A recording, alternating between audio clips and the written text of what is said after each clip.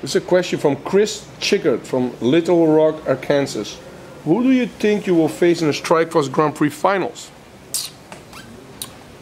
Well, that's a hard one. Either Caraton or Josh Barnett.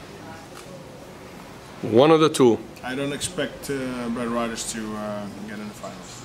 Although he's a strong guy, but I think the other two are too more experienced, too too much experience. So it will be the winner of Rogers uh, or and and um, it's going to be either the winner or Kharitonov.